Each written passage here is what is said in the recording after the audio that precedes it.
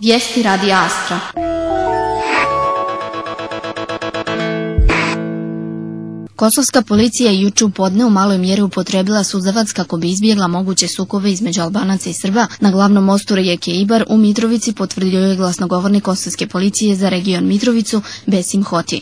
Policija je morala da upotrebi suzavac u maloj mjeri kako bi natjerala demonstrante da se raziđu na dvije suprotne strane, izjavio je Hoti. Situacija je prema policiji postala napeta kada se jedna grupa odvojila od albanskih protestanata koji su protestovali protiv srpskih izbora u Sjevernoj Mitrovici i krenula putem mosta nad Ibrom, dok su se na drugoj strani okupili lokalni Srbi. Nedugo zatim došlo je do međusobnog obračuna kamenicama. Veći sukob su sprečili snage Kejfora i Eulex policije, koje su na sredinu mosta dovezle tenkove i druga vozila. Kejfor je u jednom trenutku bacio i suzavac kako bi sprečio eskalaciju sukoba. Važno je da nije došlo do fizičkog sukoba između dveju grupa Albanaca i Srba. Došlo je do velike napetosti, ali je situacija stavljena pod kontrolom, kazao je juče za radio Slobodna Evropa glasnogovornik Hoti.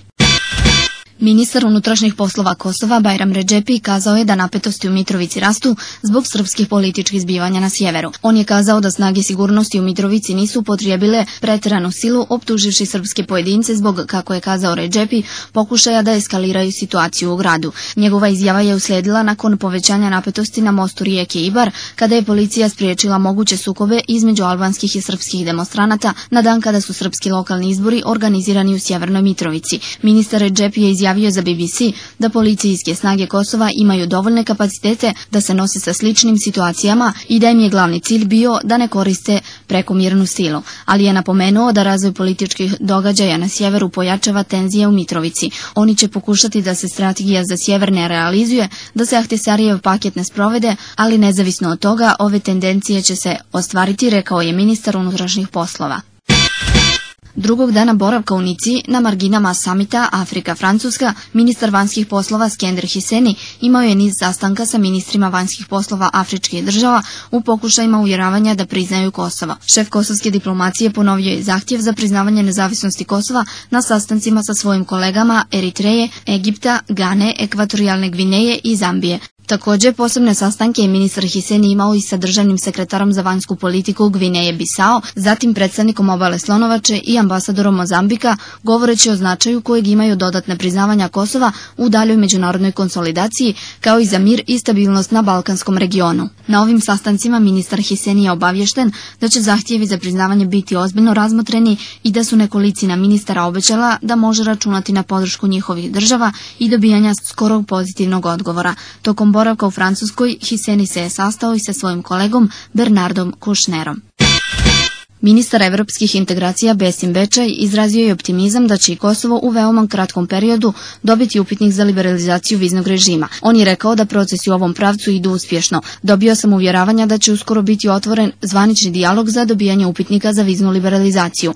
Vjerujem da će se to dogoditi ovog ljeta kada ćemo i praktično početi zvaničnu komunikaciju da Kosovo ne ostane daleko iza zemalja koje će biti uključene u liberalizaciju, citira ministra Bečaja list Kosova Sot. Bečaj kaže da su kretanja Kosova u tom pravcu pozitivna i da će posjete Briselu biti intenzivirane kako bi ovaj proces bio olakšan. Bečaj ocjenjuje da se finalna faza integracije Kosova u Evropsku uniju neće puno razlikovati od ostalih zemalja u regionu. On je zadovoljan opredjeljenjem Evropske komisije i drugih mehanizama koje Kosovu daju evropsku perspektivu.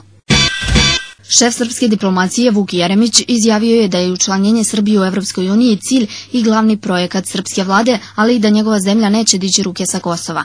U intervju za srpske medije Jeremić je rekao da se Srbija ne može zalagati da izabere između članstva u Evropskoj uniji i Kosova, istovremeno rekavši da je Kosovo dio Srbije i srpski Jerusalim. Za srpski narod Kosovo ima duboko historijsko i duhovno značenje, ono je na neki način naš Jerusalim. Ne možemo prihvatiti jednostrane zaključke vlasti u Prištini, objasnio je Jeremić. Bojim se da onaj ko vjeruje da bi se oko izbora između članstva u Evropskoj uniji i Kosova, u tom slučaju Srbija odlučila za Evropu i odrekla Kosovo, nije u pravu, rekao je Jeremić.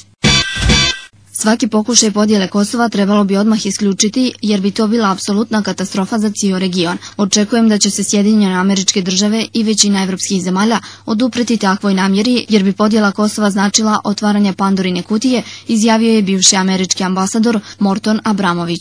U intervju za Radio Slobodna Evropa Abramović je kazao da je još jedan drugi problem činjenica da je Evropska unija podijeljena oko Kosova. Pet njenih članica ne priznaju ga kao nezavisnu državu. Postoji osjećanja da su Sjedinjene države uglavnom prepustile Balkan Evropskoj uniji. Najprije to u velikoj mjeri zavisi od mišljenja Međunarodnog suda pravde.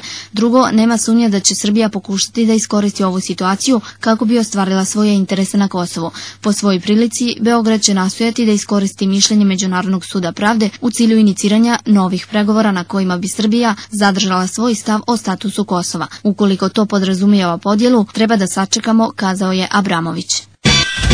Ministar kosovskih bezbjednostnih snaga Fehmi Mujota nije se nimalo naljutio zašto ga njegov makedonski kolega Zoran Konjanovski nije pozvao na regionalnoj konferenciji integracije država jugoistočne Evrope u NATO koja se održava od 31. maja do 1. juna u manastiru u Makedoniji. Mi imamo dobre odnose sa makedonskim ministarstvom odbrane i ne vjerujemo da će ovo nepozivanje uticati na postojeće odnose između dva ministarstva, izjavio je za list Ljajm glasnogovornik kosovske bezbjednostne snage Ibrahim Šalja. On je pojasnio da je ministarstvo kosovskih bezbjednostnih snaga preko vlade Kosova uputilo zvaničan zahtjev za članstvo u odbranu za međunarodnu suradnju na početku kao posmatrač u okviru inicijative Centra za regionalnu suradnju u oblasti bezbjednosti i da očekuje pozitivan odgovor. Nepozivanje Kosova na ovoj konferenciji Makedonsko ministarstvo odbrane obrazlaže time što ovu konferenciju organizuje u suradnji sa regionalnim centrom za suradnju u oblasti bezbjednosti i da Kosovo nije ni član ni posmatrač u ovoj organizaciji. Slušali ste vijesti Radija Astra, možete nas slušati i preko web stranice www.info.ks.net. Do slušanja.